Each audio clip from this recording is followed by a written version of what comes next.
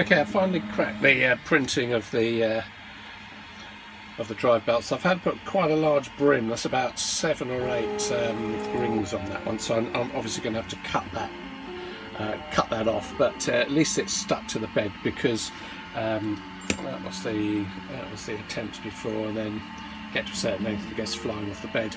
So as you see, there's quite a bit of. Uh, it's difficult to see because it's black this stuff, but I've printed two so far, and there's a, a third one. I think about to success. Yeah, that's printing all right. Looks like it is. I've had a few. Um, um, I, I find it's not that easy to print with the uh, with the flex, but um,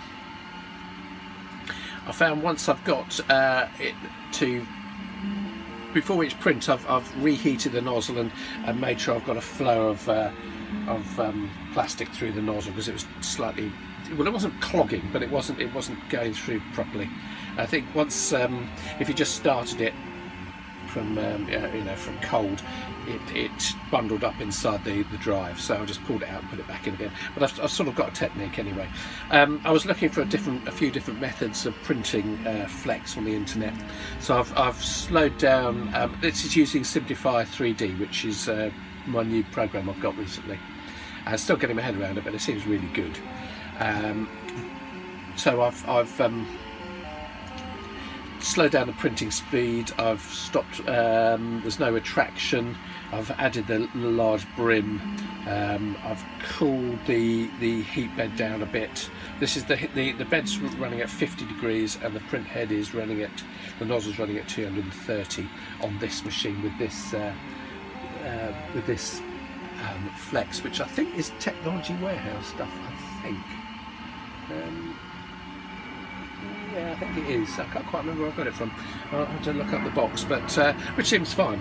Uh, once I've just uh, you know worked out how to use it, and, and, these prints are really nice. I mean, the quality is, if you can see it, it's in black. It's a bit difficult, but the quality of that has come out really well.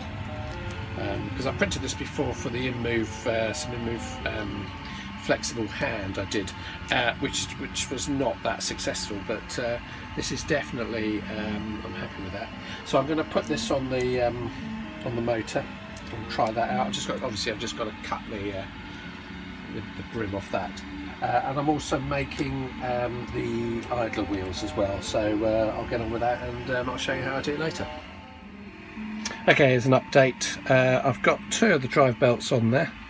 Um, basically that I just trimmed off that uh, brim on the top. Uh, I'm, I'm, hoping they'll stay in. They look like they might roll off the the pulleys but uh, we'll know in a minute. So I'll put the uh, might just because this is slightly um, it's not straight up at the moment. So I'll put this side back on again power it up and see what happens. Okay here we go. I've, I've uh, put the side back on again. We've got the uh, idler wheels there Uh, and this is now powered so the belt seems to stay on really well Oops.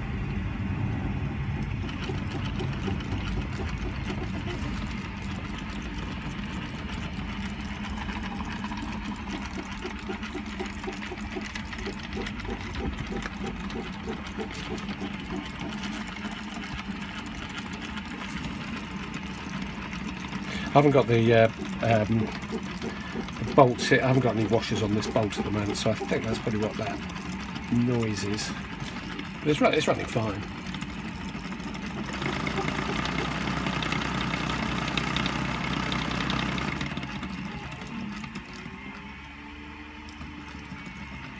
And as I said, the belts stay on perfectly. I don't know what the torque is. Well, I haven't really got any uh, power on this thing, so let's just turn the current up a bit.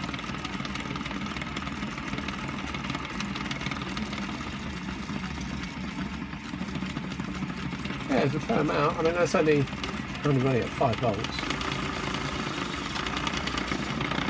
Yeah, that there's, there's quite a bit of torque on there actually. It's not easy to slow down. So, as I say, this is only running off my bench power supply. But if, if that was 20, uh, 20 24 volts I think it's a maximum on that. Um, I can't see that having any problem. So I'm just printing the final uh, uh, uh, one of the belts for the other side and then I'm going to print a tyre uh, see how that one goes.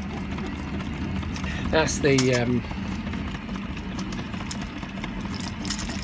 centre wheel. So that's all done so I've built both of those both of those assemblies done because I was waiting on the small little bars and they just arrived uh, this morning. I've got the rest of the bits for the other other uh, foot drive, but uh, I've ordered another motor uh, and some more nuts and bolts because I've run out of the right sizes and stuff. So once they come in, uh, I can assemble that. This is, um, as I say, that's PETG. That's uh, this is just PLA. These are nylon and uh, those are the flexi uh, it's not it's not actually ninja flex but sort of ninja flex equivalent. So there's uh, quite a few different uh, types of plastic involved in there. I've got uh, I've just put another bolt through there. I might actually change that and actually put another bolt on it on the end just so that doesn't come undone. But these ones uh, which I did the same um, that's it's quite a good grip on those on there, so I can't really imagine they came out.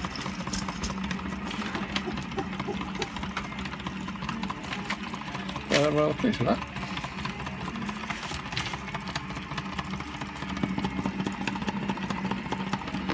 It's not fully bolted together.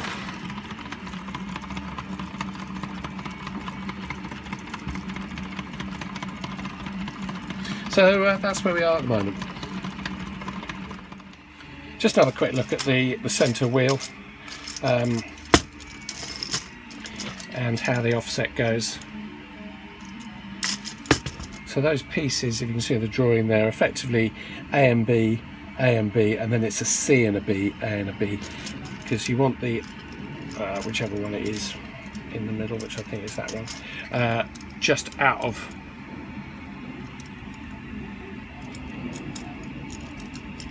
of sync with the other one so you can see you'll never get any any moment you'll never get a, a moment when it doesn't uh, you haven't got a wheel touching the ground basically a runner touching the ground which is why you put the offset in. It doesn't really matter where you put it as long as you put it in one of those. So um, as I say that's uh, I was just trying different paint finishes. Um, you won't see this but uh, it's a good, good um, place to test out some paints so I've just fitted the uh, the wheels onto the uh, centre foot there. So that bolted in through the middle there. See the bolts. And I find a specific length of bolt. Actually, I suppose you can pack them out with washers, but uh, it's a, there's not much um, distance beneath the, the nut inside to get the, the, right length of bolt. So I just had to play around with a few different uh, bolt lengths. But you could pack it out with washers. But um, so, so that's uh, as you can see that spins really well so uh, I think that's quite a success that. Because it'll, it'll move both ways. So that's that foot. Um, you've seen the this foot here and I'm now printing just on the print you can't see it because it's in black but I'm actually printing a, uh, a Ninja Flex or a Ninja Flex equivalent um, tyre to go on to go onto the um, onto the wheel hub. So uh, that'll be uh, completed soon. And once I get another one of these, I can put the other um, other wheel together, and I'll, have a left and a right. Okay, so I've just tried the uh, the whole assembly inside the inside the shell uh, which I was slightly confused actually because um, this is this is as far as I understand the left shell but this is the right uh, assembly so I think I don't, I don't know but uh, this is certainly the one it fits in because you've got the slot there to take that uh, and this is how it looks on the on the drawing so uh, as I say I thought that was the I thought this because I've got two shells if you see what I mean and I, I thought that's the right hand shell but uh, whatever Um, I haven't screwed it in. I'm not quite sure how to screw it in because you've got the screws inside there. You can just see them inside the back. But I'll look at yeah, you can see them in there. I'll look at that later. Um, what you do, and I, I, saw what Michael mentioned actually, is the screw heads. You can just see them in there. I think you can, yeah. Um, slightly foul, or could foul the uh, the side here. So I've used these these flathead um, screws in there, uh, which seems to avoid the problem. But uh, that that that does fit. In quite easily, actually. I believe it's that way around. I have seen discussion about uh, on the 3D printer thing about if if this should be at the front and you know turning it around. So it's obviously a, um, a debate going on, but I believe this is the the way it should be. So if we obviously hasn't got the, the tyre on there at the moment. Well, it's not bolted in, but again, that's just that's on the back wheel only. So that, that seems to work.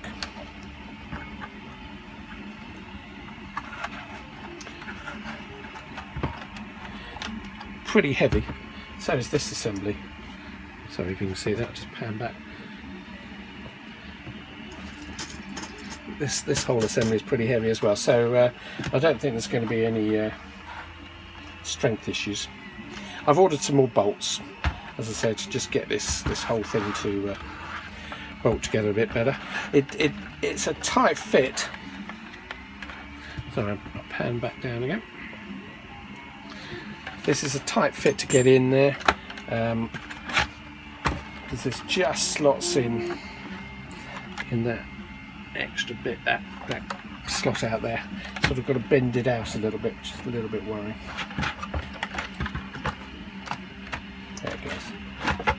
Oh, there's a method to get it in anyway, you can slide it in like that. So these got to be as flat as possible on those sides. Uh, I've got a whole new bolt assembly on that one, but that doesn't foul actually, that's fine.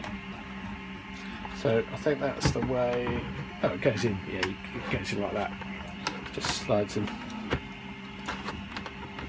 There it goes. Got to look how the bottom bolts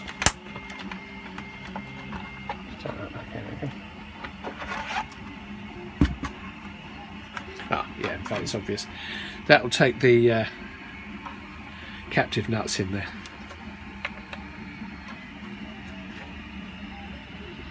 So we're getting there with that. Uh, well, definitely getting there with all these assemblies.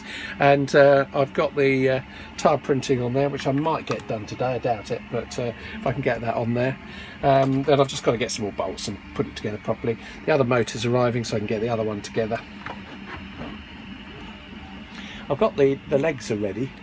So once I've got all this in place, I could actually mount the whole thing together and actually stand him up with, with feet in place. But we'll look at that later.